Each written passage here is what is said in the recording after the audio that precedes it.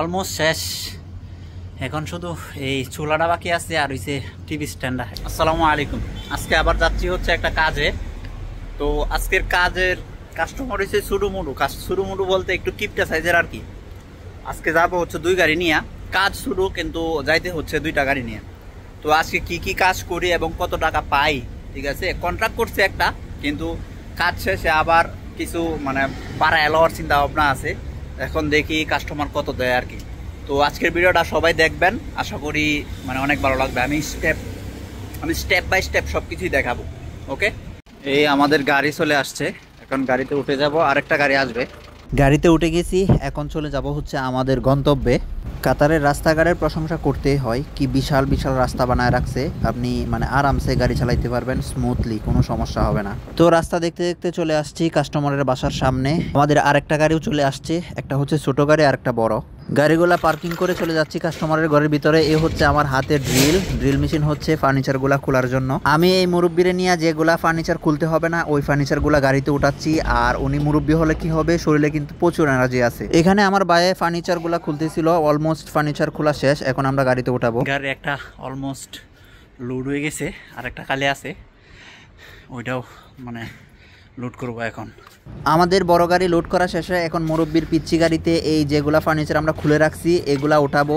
আরেকটা কথা ফার্নিচার তোলার সময় আমরা ভিডিওগুলো করতে পারি না, কারণ কাজের সময় ভিডিও করলে আসলে এটা খারাপ দেখায়, সেজন্য ভিডিওটা করতে পারি নাই। এখন আমাদের মুরব্বিরে গাড়িতে উঠাই দিছি, যেন ফার্নিচারগুলো বাস করে রাখে, আর এদিকে আমার বড় ভাই একটা একটা ফার্নিচার দিচ্ছিল।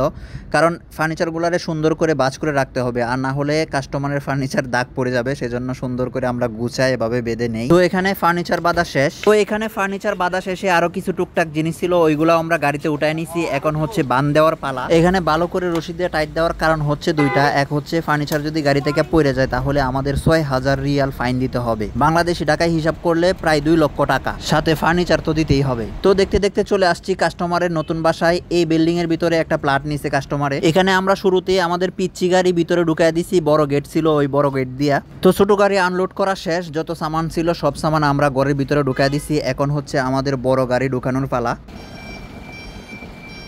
বড় গাড়িও এখানে পার্কিং করে এটাকেও আনলোড করে ফেলব। অলমোস্ট শেষ। এখন শুধু এই চুলাটা বাকি আছে আর ওই যে টিভি স্ট্যান্ডা এটা একটা টিভি স্ট্যান্ড আর কিছু ডুমুডো আর বাকি সব শেষ।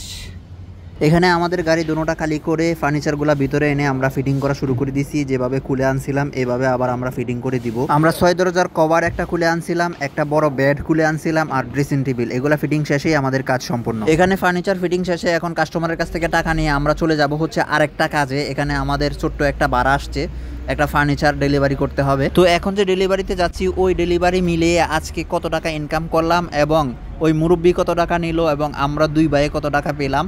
তো আজকের কাজ শেষ, টাকা পাইলাম এখানে আসতেশো দুই কাজের। প্রথমে যে গাড়ি, দুই গাড়ি নিয়ে গেছিলাম, ওইখানে পাইছি ছয়শো, আর এখন আসছে আর একটা ফার্নিচার ডেলিভারি দিলাম, ওইখানে পাইছি হয়েছি দুইশো। তো এখান থেকে আমরা দুই ভাই পাবো হচ্ছে আর বাকিটা, বাকি দুইশো আরেকজনের। তো এ পর্যন্তই কামাই। তো এখন চলে যাব হচ্ছে রুমের দিকে। দুনো কাজ শেষ করে আমাকে আমার বড় ভাই আমার রুমের নিচে নামিয়ে চলে যাচ্ছে বাসায়। তো আজকের মতো এ পর্যন্ত ভিডিওটা কার কাছে কেমন লাগছে কমেন্টে জানাবেন। আল্লাহ হাফেজ।